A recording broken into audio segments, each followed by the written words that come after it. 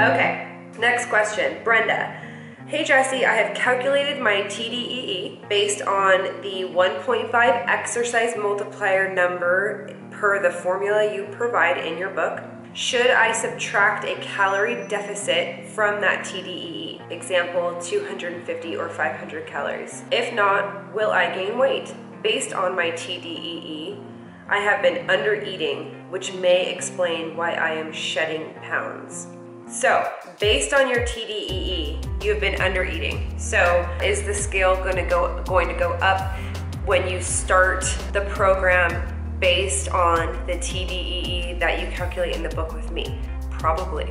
If you were severely under eating and then I show you the way to live a happy life as a Jessie's girl and it's a whole bunch of more food than you were giving your body before you started, then yeah, if you started a thousand calories and then I show you that you're supposed to be eating 1800, 1900, 2000, yeah, if you need to bump it up by a thousand calories, yeah, you're gonna gain weight.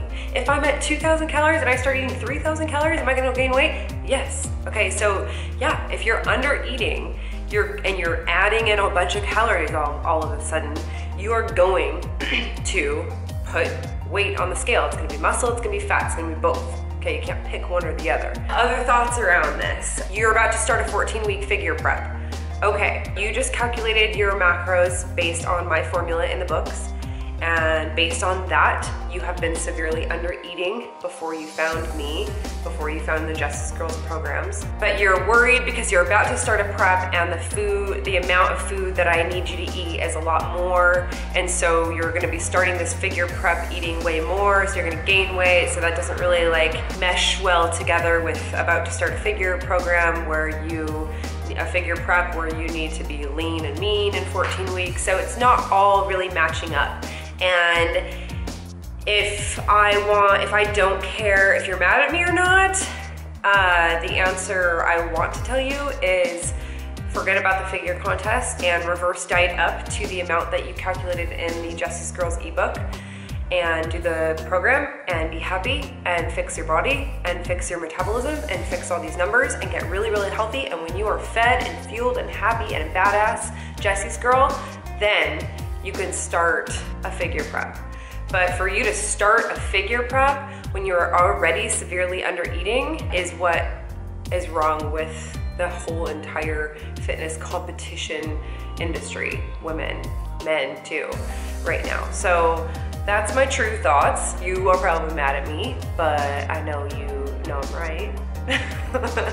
what you're gonna do anyway, I don't know. But if you're gonna do it anyway, and I'm gonna give you some not advised advice, I don't know, like this is so tough for me because if you are under eating and I cal you calculate your macros and they're, it's a lot higher than what you're eating, even if you take away 200 calories from that, is it, I don't know enough about the numbers that you were at before, is it still a surplus after you've even minused out some calories out of what you calculate with me? How far away were you from where I want you to be?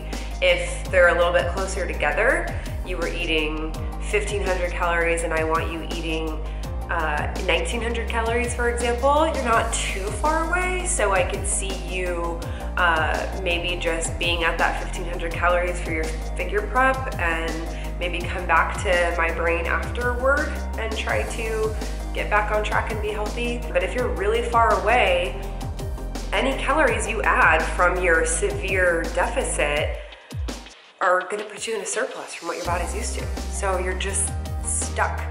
And this is what's wrong with everybody is that they're so lean and they're so ready to compete, but they're severely under eating and they are saying that a figure competition, a fitness competition is more important than your health. And I just, I don't compute. I do not agree. So I don't know, like I just, I don't know where, you didn't give me any details about the difference between what you were eating and what I want you to be eating now. So maybe a little bit more details on that and I can kind of help you bridge that gap a little bit more. But I think you're picking up what I'm putting down and it's, I think you should probably try to get healthy before you start a figure prep. And if you try to jump anywhere closer to what I want you eating, it's gonna be a surplus because you're under eating.